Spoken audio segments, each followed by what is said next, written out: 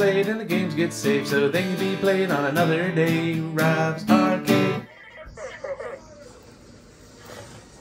All right, guys, welcome back. Whew.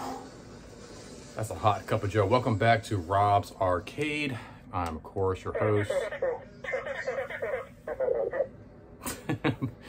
I'm, of course, your host, Rob French, and this is my sidekick, my co-host, as always, our, R4 over here. Yeah, I know, dude, I didn't read a lot of comments. Look, we'll get to all that in just a moment. I know. This new episode of Boba Fett. Actually, it's the last episode of Boba Fett, huh?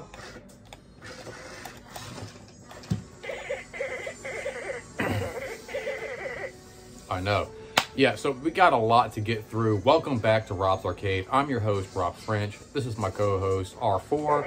And it is time for another mid-week breakdown. For those of you who are not familiar with the midweek breakdown, this is where I just kind of hang out with you guys, talk about, you know, some like Star Wars stuff, comic book stuff, whatever you guys might be into and share with you guys my new comic books from my local comic shop, the Comic Book Club Incorporated. Now, they also have a great uh, YouTube channel. If you guys aren't familiar with them, I definitely recommend you guys checking out their channel as well as mine.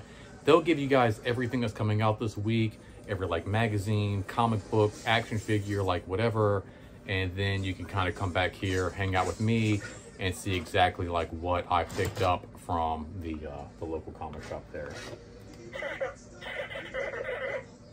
All right, well, yeah, let's get to it. Let's jump into this episode. Hopefully, you know, it's the midweek breakdown. It's hump day.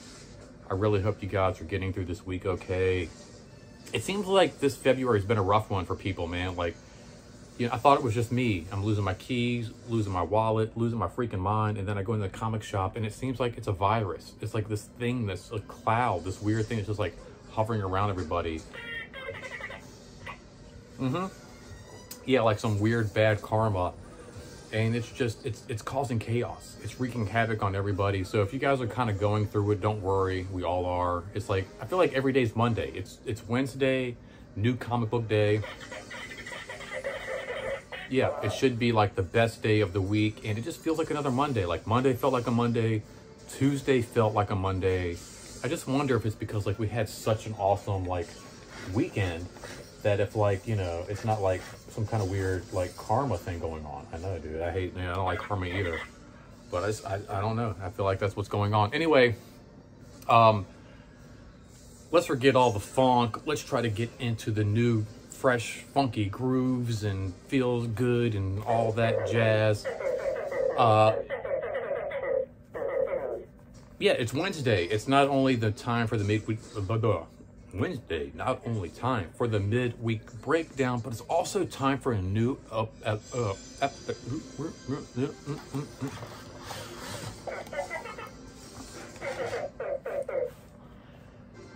yeah, I'll get it right in a minute. Okay, so yes, it's Wednesday. Not only time for a new episode of the midweek breakdown, but also a new episode of The Mandalorian.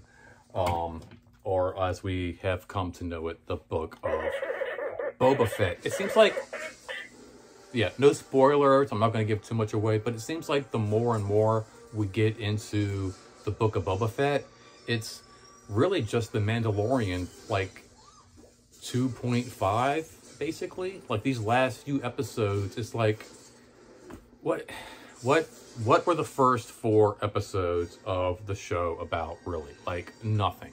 Just, oh, I got out of here and now I'm here and this is what's going on now. And then all of a sudden the Mandalorian shows up. It's like, psh, psh, psh. really, really great episode. I like lip quivering. If you're a fan of not only the original movies, but also the Clone Wars, there's so much that gets like wrapped up and tied up. There's not a whole lot of waiting going on, trying to figure out what's going on with Grogu. Like, it's just a really, really good episode. Yeah, all around. Like, oh yeah, totally. Yeah, absolutely. You're right. Um, if you guys have not watched Book of Boba Fett because like you're like, oh, I don't know, I've been like seeing like really, it is, it's awful. Like the first, like I, I feel like the first four or five episodes of Book of Boba Fett are just really bad. Like, I know they're like episode one and two bad. But if you can make your way through it, the last like three episodes are absolutely freaking amazing. Just absolutely worth checking out. And, you know, um, I made a statement the other day. All Star Wars is good Star Wars. It just is. It just is. The good makes you appreciate it for being what it is, and then the bad makes you appreciate the good for what it is. And I don't, I just, I'm not going to go into a whole big thing, but if you started watching Book of Boba Fett, you were like, no, this isn't for me, uh, but it's not the same as The Mandalorian. Watch it because,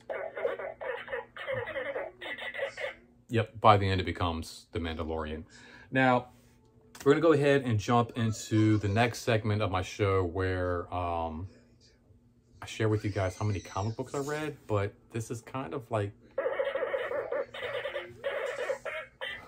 it's embarrassing.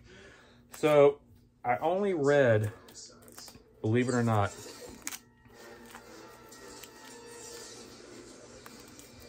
three comic books this week.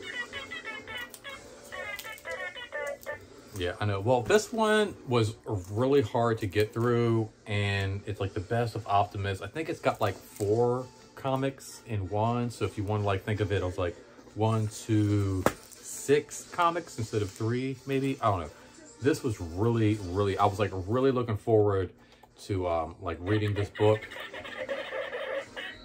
Yeah, I know this is the one. Like we were, we were really excited about this, but this was a really, really hard read. I mean, it took me like several nights, just a little bit at a time, trying to crank through this like little one shot here. And yeah, I don't know. Just it was really, really tough. Really tough getting into this.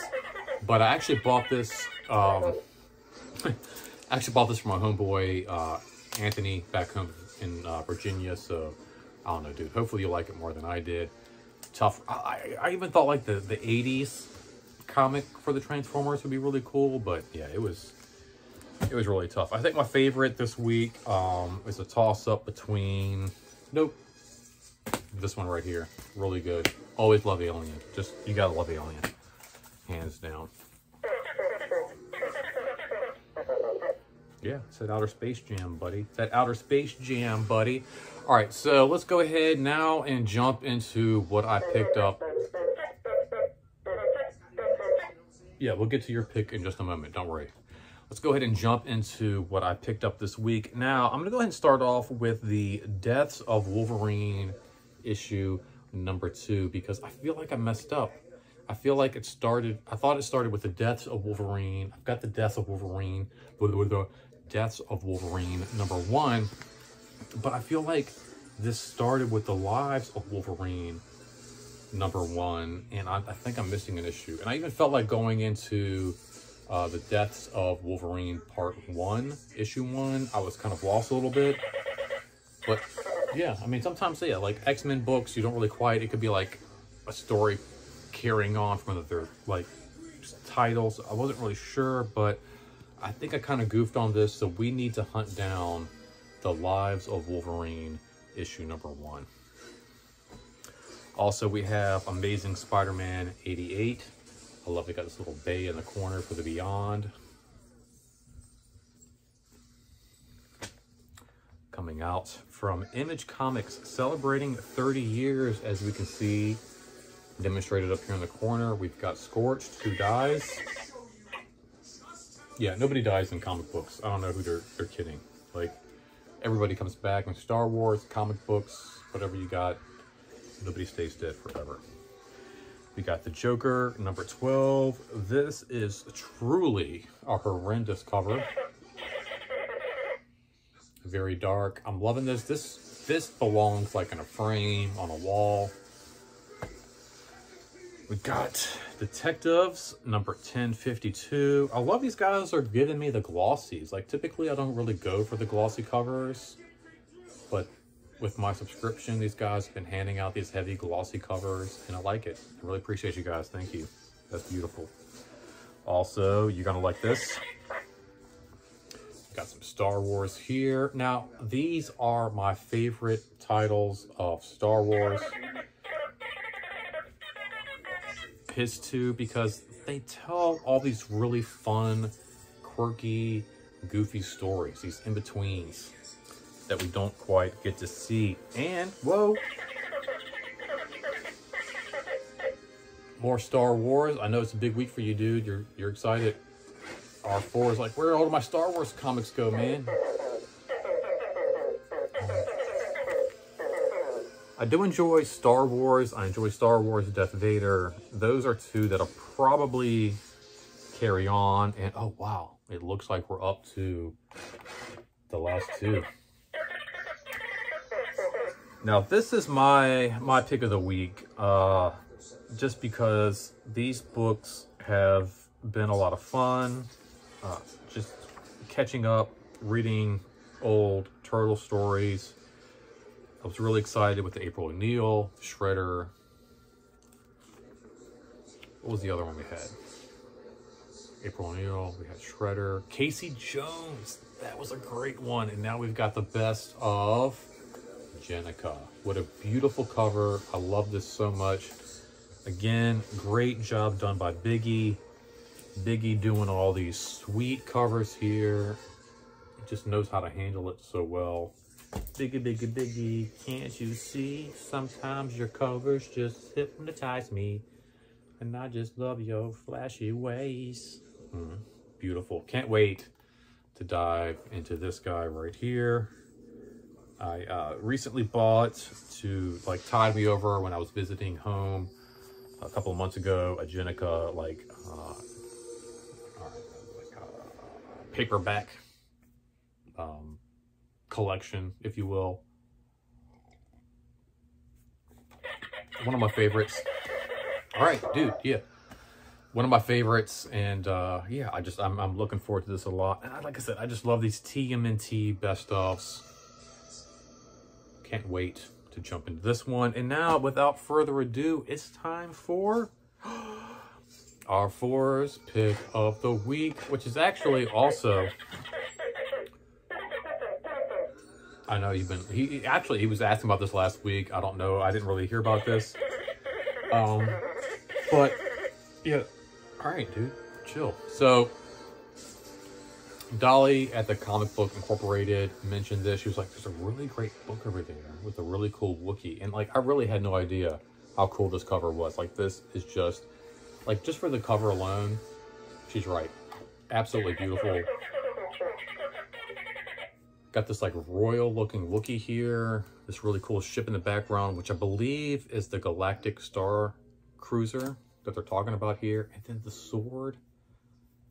Like, look at that it's not just a Wookiee with a lightsaber, but like this like Conan the Barbarian style lightsaber, almost like a Thundercats hoe, right? Really cool. So yeah, there's R4's pick of the week. Also Dolly's. She was like, just, did you see this? I was like, no, I didn't. She was like, well, check it out. And I was like, all right, I am. And if you like it, then we'll, we'll save it for you. Good upsell, Dolly and then my pick of the week. All right, well, there we go, guys. I'm not going to waste any more of your time. Hopefully you've enjoyed this episode of the midweek breakdown. And until next time, remember, guys, it's not goodbye. It's simply to be continued. And until next time, don't spend that quarter anywhere else.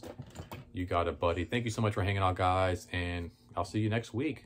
Make sure you like, make sure you comment down below, and please, please subscribe. You don't want to miss any of my videos. I got new videos almost every day. You just, you don't, uh, uh, just